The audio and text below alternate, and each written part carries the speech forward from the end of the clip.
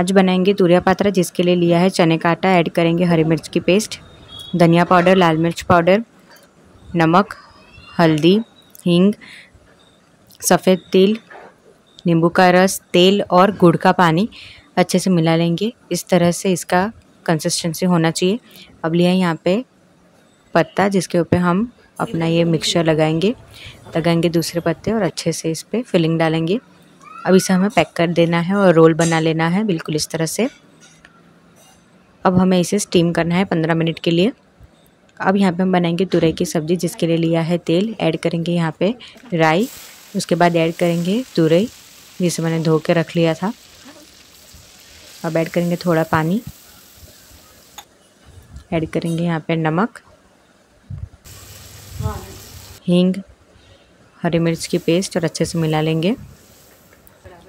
अब ऐड करेंगे यहाँ पे पानी। यहाँ पे मैंने वो अपनी परात वाला पानी ही लिया है ताकि जो फ्लेवर है वो आ सके। अब इसे हमें 10 मिनट के लिए पकाना है। बीच में हम एक बार चला लेंगे इसे। अब ऐड करेंगे पात्रा जो हमने स्टीम किया था, जिसे मैंने इस तरह से कट किया है। एक एक करके हम इसमें ऐड कर लेंगे पात्रा को। तो फ्रेंड्स ये रेसिपी बहुत ही बढ़िया बनती है तो इसे ज़रूर ट्राई कीजिएगा। और अगर ये वीडियो अच्छा लगा हो तो लाइक, शेयर और मुझे ज़रूर फॉलो कीजिएगा ऐसी नई रेसिपीज़ के लिए। तो यहाँ पे तुरिया पात्रा रेडी हो चुका है। Thank you